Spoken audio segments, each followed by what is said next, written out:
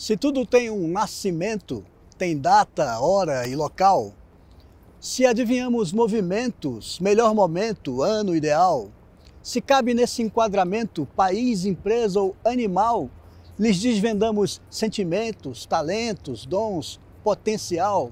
O que é que prende o mundo em denso, eterno inferno zodiacal? Qual é o signo da Terra? Quando ela sai do inferno astral?